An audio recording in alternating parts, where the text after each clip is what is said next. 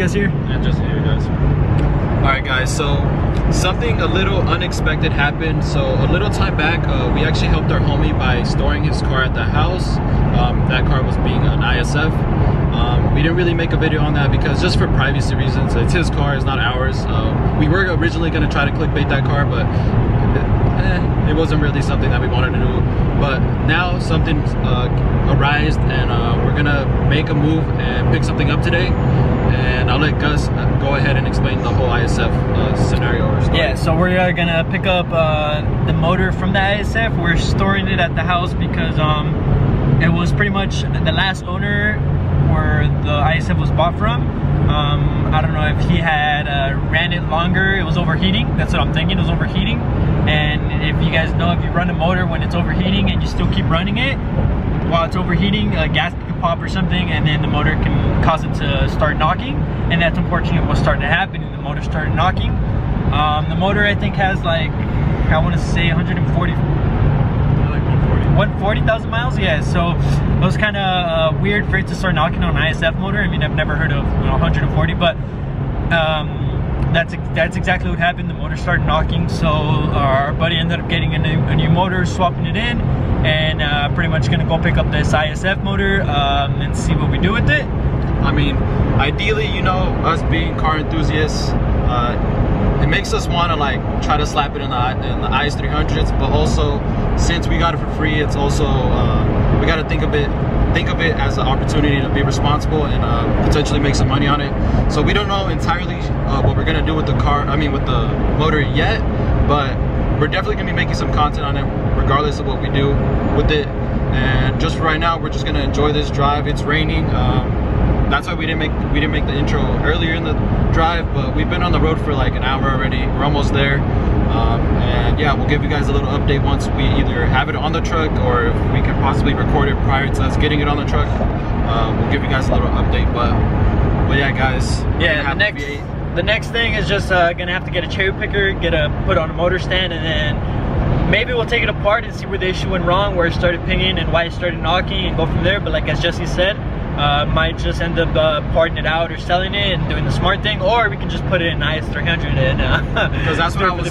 that's what I was telling Gus. Like ideally, like my ideal setup would be that with the CT09 behind it, and that's that sounds like a great time. That sounds like party time right there. But you know, responsible us, uh, we might end up just selling it or parting it out, you know, parting out the heads and then figuring out the problem, possibly even selling the short block afterwards. But we'll see what we do. Just for right now, we're gonna go ahead and pick it up. Yeah, just stay tuned. It's gonna be a little serious if you guys are interested in what an ISF motor looks like internally and uh, just see what happened with the motor. Stay tuned.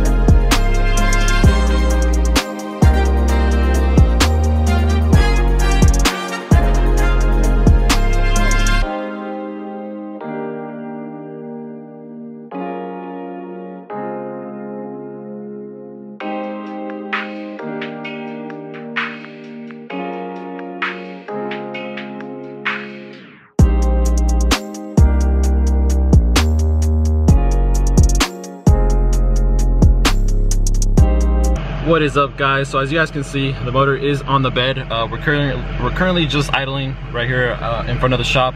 Uh, we're gonna take a little quick lunch break. Uh, he's gonna spot us the lunch just for him, for us doing him basically a favor of just taking this junk. But, but I mean, there's still some value on the car. I mean, on the actual motor itself. Uh, there's still plenty of parts that uh, he's gonna keep, but we're gonna keep the remainder of it. And mainly the things that he's gonna be keeping are like coil packs, little sensors here and there. But besides that, the motor is on the bed. Um, Ideally, we would have wanted to have the actual motor up against the back of the, the bed, but since the motor is kind of heavy, we just left it back there so when we, whenever we get the picker, we can just pick it from right there where it's at. And it's strapped, it's not gonna go anywhere. We made sure the straps were nice and tight. So for right now, we're gonna go ahead, go ahead and eat. And then once we get to the house, we'll give you guys a little a little glimpse of the motor. I mean, this motor is a lot bigger than like a normal 2J and it, it's cool. I mean, we'll see, we'll see what comes from it. Yeah. All right, guys. So here is the motor. Uh, we're currently sitting here in the In-N-Out parking lot. Just wanted to give you guys a quick little glimpse. Uh, we're about to have some grub, but here we have the 2UR. This is from the ISF. It's actually from a 2008. It has 140,000 miles, and it honestly doesn't even look that bad. Um, the rear main seal was still good, um, but it did seem to have like a little bit of a leak here. I don't know if it was just from the actual socket itself. It looks like that's been on there for a while. And besides that, we still haven't even expected it. Uh, I was gonna try to look through the exhaust ports and see if possibly one of the valves was bent. We just had no time though. We just loaded it up and that's pretty much it. Yeah, we have it set up in a way that I mean we're not very proud of how it's set up, but it's gonna get the job done. The, yeah, it doesn't not, move. It's not moving. Yeah. Um, but the only thing the owner wants is these. Uh, what is this? Like the camshaft position. Yeah, position sensors to the camshaft. What is the fuel pump? a few injectors, a couple little little things. Basically all the sensors he wants. Yeah, all the sensors to whatever's I guess has a little bit of value that you can sell and make some money. Because he did have to buy another ISF motor. Like his car is back up and running, but he ended up buying another another motor that was direct uh, plug and play. And uh, we're just gonna give him back those parts so he can make some money back from that. And then we're gonna be able to make some money too if we choose to go that route. But we'll see what comes from it and go from there. We'll, up, we'll update you guys when we arrive. All right, guys. So as you guys can see, we have officially made it home. Uh, there's a sexy beast back there. But here's the motor. Uh, I mean, for right now, we have to leave it on the actual truck because our buddy does not have the picker right now, and we don't have our own. Uh, this makes us want to have our own, but we'll eventually have one. But for right now, it's just gonna chill on here. Nothing like nothing can really affect it here. It's under a roof, I guess. And yeah, guys, uh, so we're gonna be making another video where we actually tear down the motor. Uh, the person who gave us the motor actually wants us to do that.